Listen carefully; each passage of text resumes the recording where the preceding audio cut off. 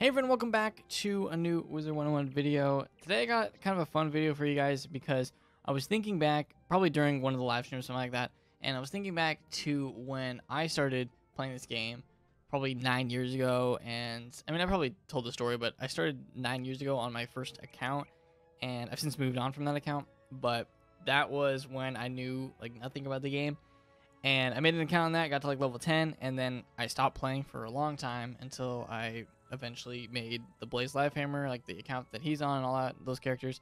But I wanted to look back at the beginning of the game and kind of think of some of the mistakes that I made when I first started playing.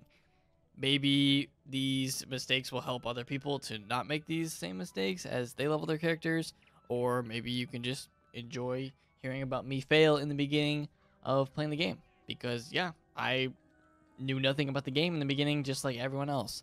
So here's the couple of, uh, well, it's more than a couple, but here's the list of some things that uh, I messed up on in the beginning of this game that I've definitely learned from, but it's some mistakes that people can avoid. And uh, for me, it was just, you know, trial and error, going through everything and uh, learning that, yeah, there's better ways to do things in this game. So here we go. I'm in the full noob gear because we're a noob today. We're thinking back to uh, probably not my storm character. It probably I probably made these you know mistakes and uh, all this on one of my original characters on the other, the other account. But you know what? You get the idea. We're on Blaze Stormhammer, Blaze Noobhammer, and uh, we're gonna be going through. So here we go. First up, not in any particular order, but I'm just gonna start with how I made the list. let's run over to Ravenwood because this first one is that you don't need to go into a secondary school when you start the game. Dang, it takes a long time if you don't have a mount. like I just realized that. You don't need to have a secondary school. I already made a whole video on this, and it even made the newsletter, and a lot of people like that video because for some people, I don't know why, and even for the game itself, the tutorial tips tell you to go into a secondary school, but you don't need it. You don't need it. On one of my characters, I think I had a storm. I had a storm before this storm. I think on that character, it might have been, you know, remember I had that Flint Storm something? I forgot his name. I had like a Flint Storm character. Maybe it was on him. I don't remember. But on one of my Storm characters before this one, I had, uh, you know, full, I think I was like level maybe 15 or something. And I had all my good Storm spells in, but I also had all the good Myth spells that I could get at that point. So I was going Storm and Myth. And Myth was my secondary school. So I went into the Myth school and I used up all my training points to train as many myth spells as I could, which meant I probably had, you know, Bloodbat, Troll, Cyclops, all that.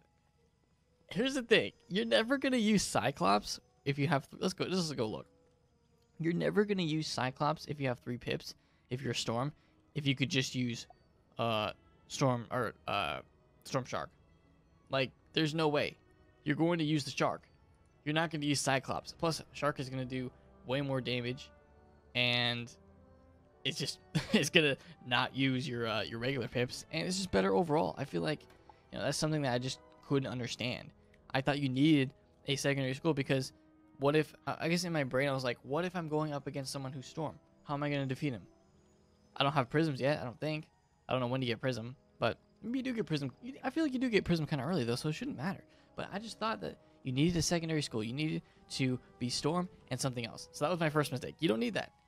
We tell people all the time, don't go fully into a secondary school. Go for the spells that you want, and then that's it. Go for Feint. Go for Tower Shield. Go for Satyr. Those are like the main ones that people go for. So that was my first mistake, and I know a lot of people make this mistake. Uh, the second one is save your training points. It's the same as the first one, kind of, but save your training points. You're never gonna know what you you might need them for, and I made that mistake a lot. I just spent them on whatever I, I could find. I probably spent them on kind of the secret trainers. You know, like the secret trainer in uh, Colossus. I'm not gonna run all the way over there. You guys know where it is. But the secret trainer, I probably went in there. I'm like, yo, these are these are pretty cool spells. Let's just buy a couple. Just buy a lot of the dispels at a low level, and then you're stuck. Yeah, you can't you can't afford to buy back the the training points, and you're stuck. So don't make those mistakes. I feel like training points is the number one I'm glad I started with this in this video because everyone, unless you, I don't know, already have made characters or maybe people have told you, I feel like people are going to mess up the training points because it's easy to mess up. If you buy one thing wrong, you you can't get that training point back unless you spend crowns or wait for a membership uh, benefit. So pretty tough. Training points are a tough thing, and on this character, I just save them. See, I'm taking my own advice now, uh, learning from my mistakes and saving training points. I have 21 on my storm because I don't really need to use them. So just save them. You never know what you might uh, need to use your training points on later on. So that's what I did now. But before, I had no idea. I would spend them on whatever. So that's uh, that's one thing. All right, for the next one, we're gonna go into Golem Tower because this is one I don't know why it took me so long to realize this one, but eh, thinking back, I'm like, you know, it makes sense because I don't remember the game ever telling you this. Maybe they do, but I just missed it. But the thing that I messed up on and I never knew was that you can discard your hand. You can discard whatever cards you want. And if I don't want this, you can just right click it and discard. I didn't know that. For the longest time, that was something that I remember having no idea how to do. Be- unless maybe I accidentally clicked it, I realized I was like, wait, you can actually discard stuff. But for the longest time, I thought that you had to use up all the cards in your hand in order to get new ones because once you use the card, then you can replace it with whatever. And I thought that for so long, and thinking back, it's kind of embarrassing. But how would you know unless the game tells you, or unless you have other people tell you? But that's one. The other one is I never used TCs that I had. I just, I would just never put TCs in. I don't even think I knew what draw meant for the TCs, and I just, I just didn't do it. I like how I have a Shadow Pip with noob gear. Okay. I just never did it. So, I guess the tips for people, don't make those mistakes. Discard with right click and use your TCs because TCs are good. You can put in enchants, you can put in blades. That's like the easiest thing. Just put blades. If you have nothing else, just put blades in your TCs at low level and you're good. But that's something that I just never realized. And probably spent a lot of extra time in battles because I would have to use up the spells in my hand without discarding them. So that's one thing that I feel like maybe early, um, later on you'll definitely like figure that out. But early on, yeah, kind of bad. So the next one after that, that oh, I wish I could like get these crowns back from these uh these purchases. But one of them that uh unfortunately I did was buying the Mega Snack Pack. I would spend I don't know how many crowns I actually spent on this total, but to train my pets, I would solely buy Mega Snack Packs for 2500 not even the sale it wasn't even on sale. I would buy for 2500 crowns each and you get seven snacks and then trade my pet. And yeah that was that was probably a mistake. The other thing i probably bought some of these pets too early on. Like now i buy them for the you know pet showcases and i'm fine with that. But early on when i would spend i don't know i probably bought a sea dragon i'm guessing. I probably bought a sea dragon for like i don't know if i spent 12000 on it. If i did that's kind of sad too but I would not buy these pets in the crown shop either because they're so expensive. They're not worth it. They're first gen, and you can hatch to get it if you really want to as well. So there's definitely better options out there, especially now with the hatching kiosk. You can just go in there and pick whatever pet you want. You don't need a sea dragon unless you really like the sea dragon. I used to have a sea dragon pet. I thought it was really cute. I named him Fluffy. If you guys remember Fluffy.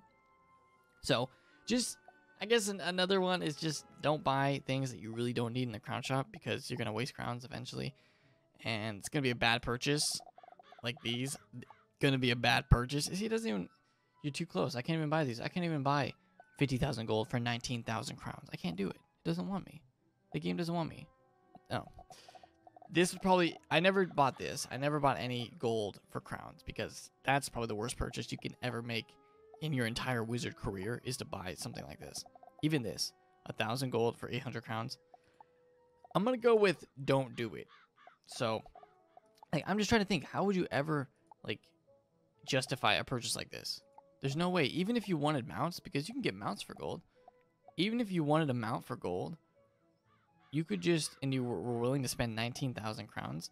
Why wouldn't you just go ahead and buy literally any mount that you want in the crown shop. Buy this. This would help you so much more.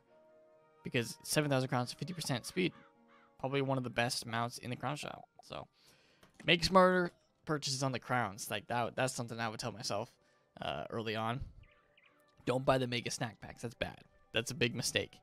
Because yeah, you might not have any snack packs in the beginning, but you can get them. it's smarter to spend crowns on plants. See, I should have taken that 2,500 uh, crowns and spent it on gardening. I should have spent it on evil magma peas. I could have bought two of them. That would be way more worth it than buying the uh, mega snack pack. So those are some good tips for. Uh, I mean, yeah, you have to rank up. I guess you couldn't buy the uh, evil magma peas right away. You had to be rank four, but you could start with something else. You can start with something simpler, or you can just plant whatever you have and uh, get going. I mean, you could key limes. Could, those are rank one. You can start with something simple, move your way up to get to EMPs, and then wait for double garden if you're a member, and you're good to go. So those are some things that I definitely uh, would have improved upon. And this kind of goes to the next one, which was I never used to use a mount. I had the 20% mounts. I probably use those a little bit. Uh, Zeke has mounts, by the way. If you really need a mount, you can spend a thousand gold uh, for Zeke or 1500 and get a one day mount for 20% if you really need one. He has them. Zeke's got you covered on that front for 20% extra speed. But I used to just run around like this, you know, pretty pretty much exactly like this, just running around to every place and uh, no mount.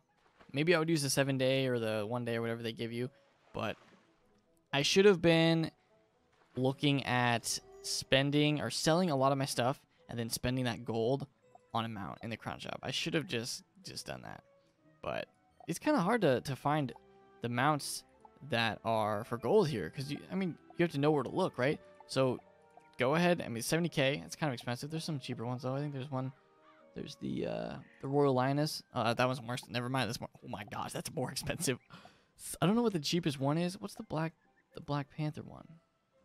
Panther. Nope, you can't buy the Panther. So I think the cheapest one is like 70k. I thought there was a cheaper one, but guess not. Maybe there. I thought there was like a 50k one. Blue Dragon, 85k. Nope. Uh, the brooms. How much are the brooms?